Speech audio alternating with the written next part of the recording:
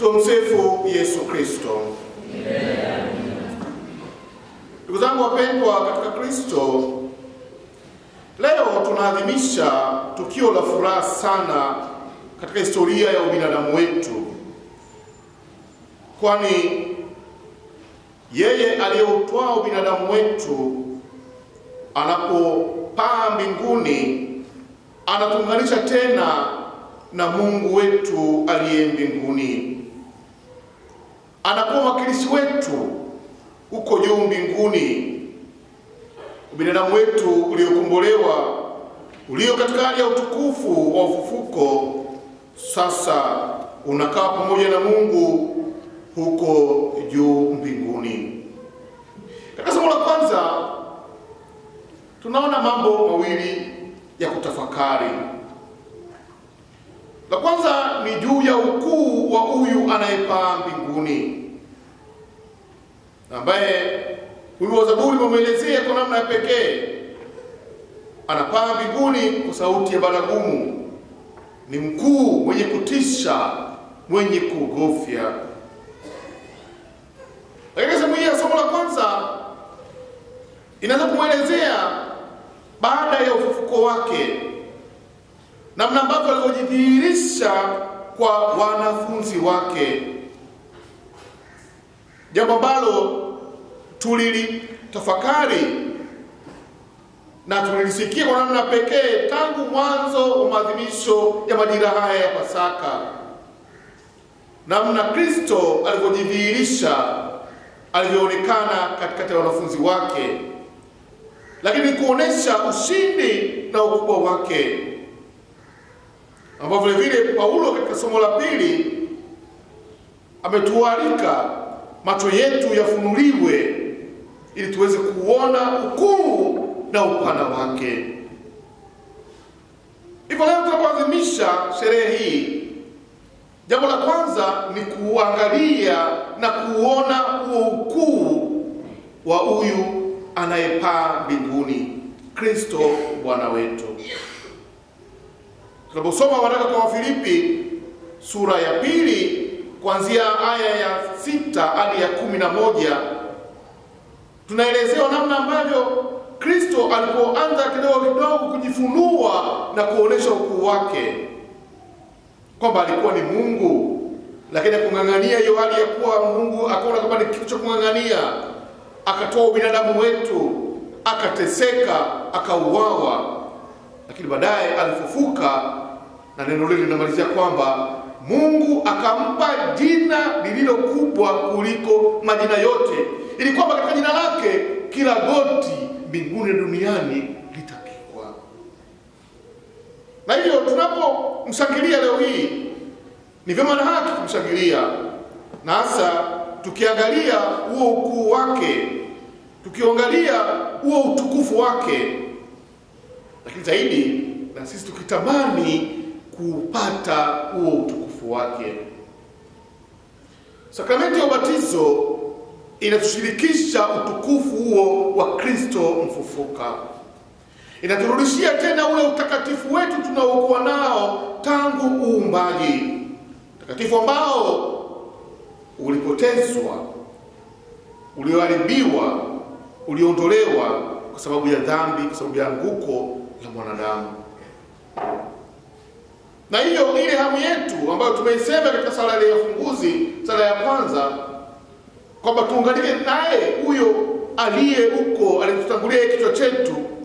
Sasa hivi tuna kila sababu ya kusema tunaweza kufanya hivyo, kwa sababu tumeupokea huo utukufu wake na humo ndani mwetu. Jambo la pili ambalo tulitafakari katika somo hili la kwanza ni utume tunaopewa na Kristo. Anapopaa mbinguni, anatuacha sisi ambapo tushirikisha utukufu wake tuweze kuwa mashahidi wake. Mtampokea Roho Mtakatifu, nanyi mtakuwa mashahidi wangu kuanzia Yerusalemu na kwenye mataifa yote. Yerusalemu ikiwa na maana pale walipokuwa wanakaa wao katika jumuiya ile ndogo, lakini zaidi na hata nje ya jumuiya hiyo. Tukilitafakari neno hilo na kuliweka katika nafsi zetu sisi wenyewe, tunaliona kwa namna ya pekee. Hiyo Yerusalemu tunaweza tukaiona katika nafsi yako wewe mwenyewe unayepokea utukufu huo wa Kristo, kwamba hauwezi ukatoka na kwenda kutangaza hiyo habari njema kabla wewe mwenyewe hujaipokea, kabla wewe mwenyewe hujaangazwa na huo utukufu wa Kristo, ili uweze kutoka sasa uende ukautangaze kwa wengine, wajibu ambao Kristo ametuelekeza na kutuambia katika somo la injili ya leo, mwende kwa mataifa yote mkawafanye watu wote kuwa wanafunzi wangu, mkiwabatiza na kuwafundisha yote ambayo nimewaamuru. Yanatokeza mambo mawili makubwa ya kutafakari. La kwanza ni wajibu wa kutoka na kuwa wamisionari. Kristo alipopaa mbinguni anatuachia kazi hiyo ya kimisionari, kwenda kutangaza habari njema kwa watu wote. Kanisa katika kipindi hiki linatukumbusha wajibu wetu huo wa kimisionari tunapokuwa bado katika sinodi ile ya maaskofu ambalo ambayo inatukumbusha kwamba kanisa la kisinodi ni nini? Ushirika, ushiriki na nini? Kwamba tumeshirikishwa huo utukufu wa Kristo, tu washirika katika utukufu huo. Tumepewa nafasi ya kuwa washiriki, maanake kutumia vipawa vyetu tulivyokuwa navyo, lakini si kwa ajili yetu sisi wenyewe, ni kwa ajili ya kutoka nje kwenda kuwashirikisha watu wengine utukufu huo. Lakini Kristo anaendelea kuuza jambo lingine la pili la muhimu, mkawafundishe yale ambayo niliwaamuru ninyi. Tulichukulie kwa uzito na kwa umakini. Msiende kuwafundisha mambo mengine yoyote yale, yale tu ambayo niliwaamuru, yale tu ambayo nimewaelekeza. Hapo tunaona wajibu wetu sisi wa kuangalia mafundisho yale ambayo Kristo alitufundisha, ambayo kwa namna ya pekee yanatunzwa ndani ya kanisa, katika maandiko matakatifu, katika mapokeo matakatifu ya kanisa na katika mamlaka ya ufundishaji wa kanisa. Kwa hiyo tunavyotumwa kwenda kuwa mitume, tunavyotumwa kwenda kuwatangazia watu wengine, si pengine popote vile, ni yale ambayo Kristo ametufundisha, yale ambayo ametuamuru, yale ambayo ametuelekeza kama njia, kama nyenzo ya kuupata huo utukufu wake, ili tuweze kweli kuwa wafuasi wake, kuwa mashuhuda wake. Na mwisho anamalizia, nipo pamoja nanyi hata ukamilifu wa dahari, kwamba katika safari hiyo, katika wajibu huo wa kimisionari, yupo pamoja nasi.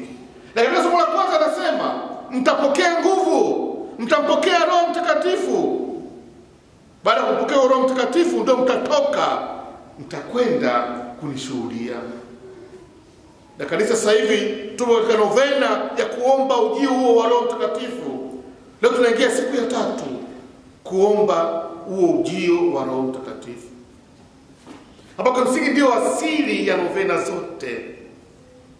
Baada ya Kristo kupaa mbinguni, sheria leo ambayo tunapaswa kuiadhimisha siku ya Alhamisi, kuanzia Ijumaa mitume walikaa siku tisa wakisali na kuomba ujio huu wa Roho Mtakatifu, na sisi tukiungana nao katika kipindi hiki tunasali kuomba ujio wa Roho Mtakatifu, kuipokea hiyo nguvu, kuipokea hiyo ahadi ambayo ni uthibitisho wa uwepo wa Kristo katikati yetu, uthibitisho ambao unatutia nguvu na kuonesha kwamba huyu Kristo hajatuacha, ameendelea kuwa pamoja nasi.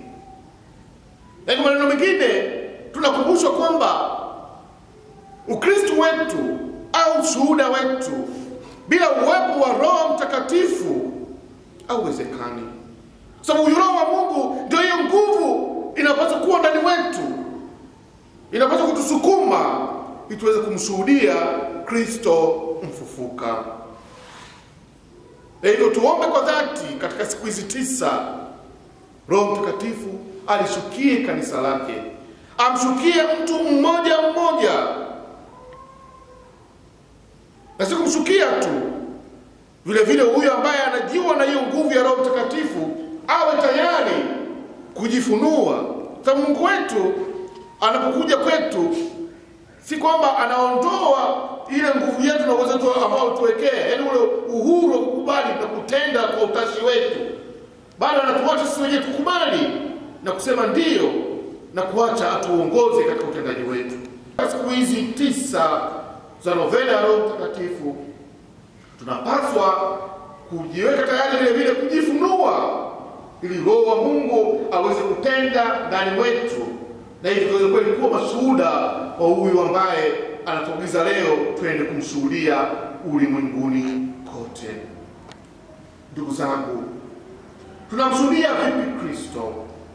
Tunathibitisha vipi kwamba sisi tu wa Kristo?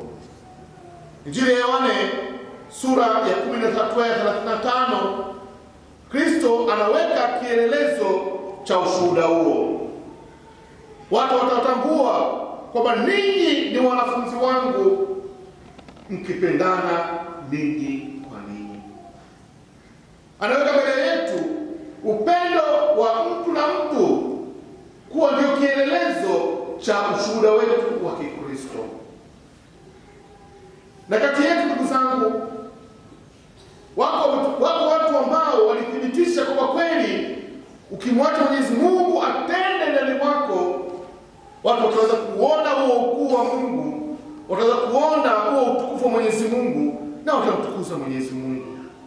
Mfano wao ni Mama Teresa wa Calcutta, mtume wa upendo ambaye kwa kuunganika kwake kwake na Kristo alikuwa tayari kuyatoa maisha yake kwa ajili ya kuwahudumia watu wote na hasa maskini na wahitaji. Wako watu wengine wengi wa namna hiyo ambao wametenda matendo hayo, ambao wametoa maisha yao kwa ajili ya kuwasaidia na kuwaelekeza watu wengine. Katikati yetu tunaweza tukamweka mbele yetu bila kusita baba wa taifa letu Mwalimu Julius Kambarage Nyerere, ambaye mtumishi wake kila mmoja wetu anatamani mwendelee kuwepo hata leo, namna alivyojitoa, namna alivyokuwa tayari kulihudumia taifa hili la Tanzania, kiasi ambacho kwamba hata kanisa leo hii bado liko katika mchakato wa kuendelea kuona kwamba anaweza akatangazwa kuwa ni mwenye heri na baadaye mtakatifu kutokana na yale ambayo aliyafanya kwa dhati, kujisahau, kuonesha namna alivyounganika na huo upendo wa Kristo. Kama nilivyosema, wako wengine wengi tunaweza tukawagusa, lakini sio kuwagusa kwa kuangalia tu. Cha muhimu ni mimi na wewe tunakuwa tayari vipi kujivika upendo huo kwa ajili ya kuwahudumia wanadamu kwa ajili ya kuugusa ubinadamu ambao unachakazwa na manyanyaso ya ulimwengu ule hii.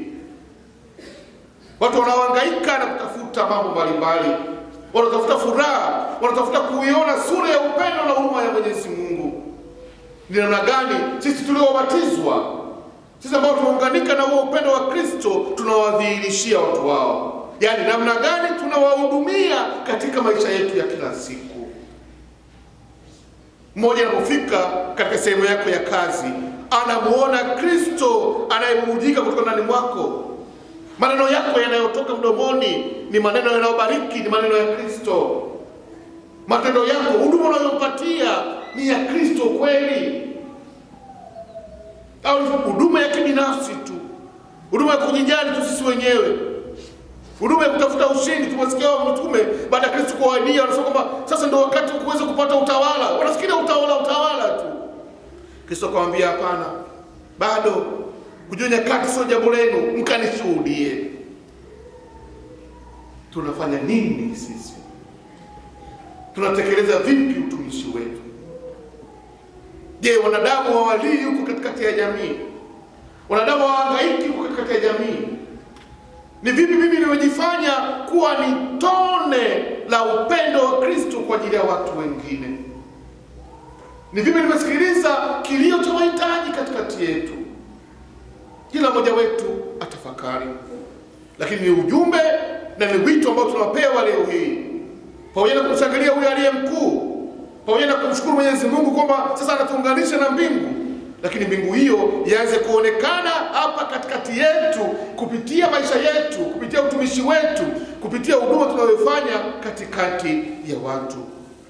Tumwombe Mwenyezi Mungu atujalie leo hii tuweze kutambua hiyo hadhi tuliyoipata, hiyo hadhi ya utukufu ya kuunganika na Kristo mfufuka, na hiyo hamu yetu ya kuunganika naye huko mbinguni alikotutangulia iweze kutimizwa kwa utumishi wetu uliotukuka, utumishi wetu unaofunua upendo wa Mungu kwa watu wengine, na mwishoni watu wote kweli waweze kuja kwa Kristo, waweze kutambua upendo wa Mungu na waweze kuokoka. Tumsifu Yesu Kristo. Amen.